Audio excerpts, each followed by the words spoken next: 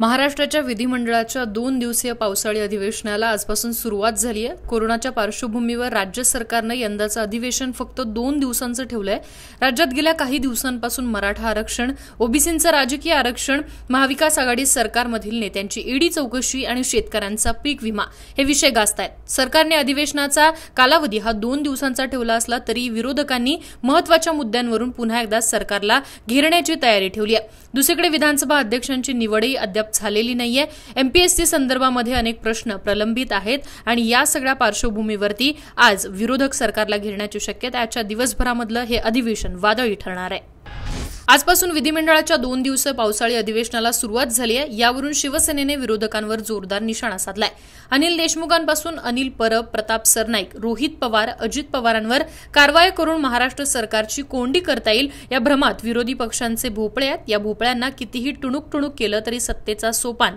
त्यांना पार करता येणार नाही असं शिवसेनाच्या सामना संपादकीयमधून म्हणण्यात आलंय सरकारला कोंडीत पकडण्यासाठी जोरदार रणनीती ठरवली जाते ही रणनीती म्हणजे काय तर सरकारला बोलू द्यायचं नाही सभागृहात गोंधळ घालून कामकाज बंद पाडायचं विधानसभा अध्यक्षांसमोरील मोकळ्या जागेत घुसून घोषणाबाजी करायची महाराष्ट्रातील विरोधी पक्ष दोन दिवसांच्या पावसाळी अधिवेशनात यापेक्षा वेगळं काही करेल अशी सुताराम शक्यता दिसत नाही असं शिवसेनेने म्हटलं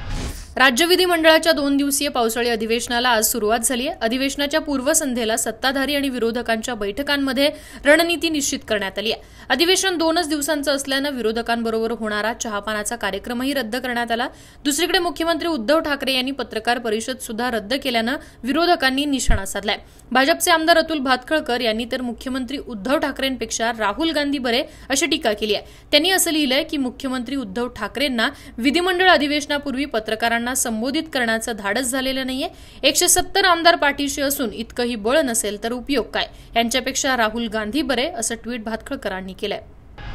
सर्व भारतीयांचा डीएनए सारखाच आहे असं प्रतिपादन करत राष्ट्रीय स्वयंसेवक संघाचे सरसंघचालक मोहन भागवत यांनी म्हटलंय की झुंडीने हल्ला करण्याच्या घटनेत सामील असलेले लोक हिंदुत्व विरोधी आहेत भारतात इस्लाम धोक्यात आहे या भीतीयुक्त सापळ्यात मुस्लिम समुदायाने अडकू नये असं आवाहनही त्यांनी केलंय राष्ट्रीय मुस्लिम मंचच्या वतीने प्रथम हिंदुस्थानी हिंदुस्थान प्रथम या विषयावर आयोजित कार्यक्रमात मोहन भागवत बोलत होते पूजेची पद्धत कशी आहे या आधारावर लोकांमध्ये फारकत केली जाऊ शकत नाही लिंचिंग घटनेत सामील असलेले लोक हिंदुत्व विरोधी आहेत लोकांविरुद्ध लिंचिंगचे काही खोटे गुन्हे सुद्धा दाखल करण्यात आलेत असंही त्यांनी म्हटलंय दुसरीकडे सर्व भारतीयांचा डीएनए सारखाच आहे असंही त्यांनी म्हटलंय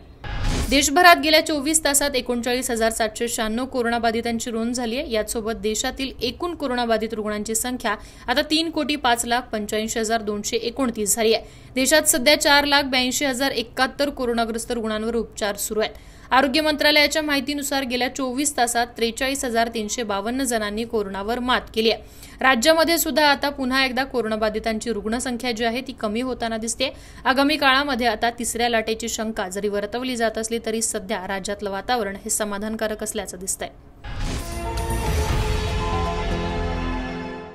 आता सर्वात आधी बातम्या मिळवा आमच्या मोबाईल न्यूज ॲप्लिकेशनच्या सहाय्याने अँड्रॉइड किंवा आय ओ एस प्लॅटफॉर्मवर जाऊन एच डब्ल्यू न्यूजचे ॲप सर्च करा डाउनलोड करा आपल्याला हवी ती भाषा निवडा आजच्या बातम्यांच्या गर्दीतून आपल्या कामाची बातमी मिळवा फक्त एच डब्ल्यू न्यूजवर